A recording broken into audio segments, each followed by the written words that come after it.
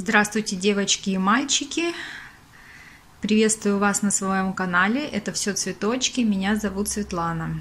Сегодня у меня тема а, мои плетеные растения. Пока их вот только 4. Одно, я так э, бы сказала, что уже на завершающем этапе, и остальные только в процессе. И сейчас о каждом по отдельности. Фикус Бенджамина. Предположительно, Даниэль. А, вот специально поставила рулетку, чтобы видеть высоту. Ну вот где-то получается приблизительно около 55 сантиметров. А, да, это мой первый опыт и не совсем, я бы сказала, удавшийся, но результаты я бы назвала удовлетворительными. Вот такой у него ствол. Так, сейчас попробую немного его покрутить, чтобы не упала тут у меня конструкция Вот такая у него крона. Сейчас идет процесс ее формирования. И уже такой неплохой шарик образовывается.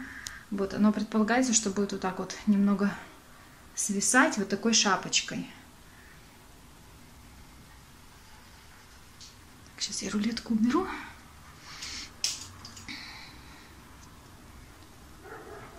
Вот он такой неказистенький получился. Но вы знаете, мне нравится. Мне для себя, не куда-то там на продажу. Для первого раза сойдет. Сейчас я буду делать следующее, уже буду учитывать свои ошибки. Вот такой, как бы шапочку его показать. Это приблизительно вот так сверху. То есть он, я стараюсь его делать со всех сторон одинаковым. Шапочку я имею в виду. Чтобы он со всех сторон смотрелся красиво. В процессе плетения столкнулась с такими проблемами, как э, несрастание ствола. То есть иногда приходилось по нескольку раз резать кору, чтобы и снова связывать, чтобы оно срослось. Так, и вторая проблема это то, что вот один ствол, получается, видимо, начал тянуть все соки на себя. И вот он такой толстый, жирный, прямо видно, да? А второй вот такой вот тоненький. Вот. Ну вот как-то так. Следующий это также фикус Бенджамина, предположительно Даниэль. Его я плету в виде спиральки. Потом хочу попробовать э, двойную спираль из двух стволов. Интересно будет. Так, ну вот они были, значит, плетение приблизительно там с разницей в, в пару месяцев. И вот этот пока еще не дорос до формирования кроны, но вот уже он уже, так скажем, на финишной прямой. То есть это вот последнее. Дальше я его уже растить не буду. Вот здесь вот я, получается, остановилась. И вот эта часть пойдет уже в крону. И это. А розочка она держит. Не просто так. Вот так я завязывала фумлентой, чтобы оно не двигалось. Вот ствол еще даже не везде одеревенел. Прежде чем снимать эту конструкцию, нужно будет, чтобы он прям задеревенел хорошо. Потому что это все упадет, если снять рано. Так, размер, размер вот такой. Около 45 сантиметров приблизительно. Вообще, э, тут вообще никаких сложностей. Плети себе и плети хоть там до бесконечности. Мне понравилось, буду еще продолжать. Очень легко, и я думаю, что выглядеть потом будет очень красиво в конечном итоге. Это у нас мирт. Изначально его не планировалось в таком виде делать. Потом я подумала, что, наверное, стоит. Так, здесь получается... Так, да, размер его 13, высота. Так, чтобы видно было. Тут один ствол. Вот он один ствол. Он раздваивается. И я плету, грубо говоря, то есть это одно растение из его двух веточек. Так, вот начала плести недавно. Еще даже не разматывала, не смотрела. Вряд ли он сросся, конечно.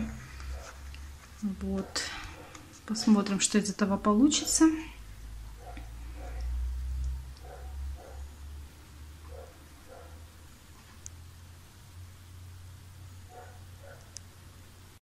И в завершении мой типа бонсай. типа, потому что, ну, как бы в бонсайнице в специальной плошечке я его выращивать не буду. А, будет вот в таких небольших каких-нибудь горшочках расти. Ну, вот в виде деревца хочу его сделать, чтобы вот у него были... Не знаю, правильно, неправильно. Ну, вот я насмотрелась тоже видео на YouTube. И вот пробую также делать, как делают. Посмотрим, что из этого выйдет. Вот пока вот он такой. Около 16 сантиметров пока высота. Но здесь, скорее всего, еще я не знаю, дам подрасти. Здесь будет он еще обрезаться. То есть это, это явно лишнее. Вот какие-то из этих будут верхушечкой поскольку это тоже первый мой опыт в плетении в бонсае, в создании бонсаев. А, посмотрим, что из этого выйдет. Будем учиться. Вот такой. Все. Всем спасибо за просмотр. До новых встреч. Заходите на мой канал. Пока-пока. Да, еще забыла, хотела похвастаться, а, показать вам кашпо, которое мы сделали вместе с моим мужем. Точнее, я долго ныла, что помоги мне, помоги, помоги мне сделать. И в результате вот я пилила а, эти детальки, шлифовала их, потом пыталась склеить, ну, кое-что сама, кое-что муж помог, и вот он потом красил уже. Цвет, к сожалению, не передается. На самом деле цвет я бы назвала аквамарин, такой зеленоватый, а здесь он почему-то передается как голубой, что ли, ближе к синему. На самом деле он прям такой зелененький, аквамарин цвет, красивый. Вот, еще тут он мне патину сделал, все культурненько так. Вот такое кашпо. Ну и на этой ноте точно все. Пока-пока, до новых встреч!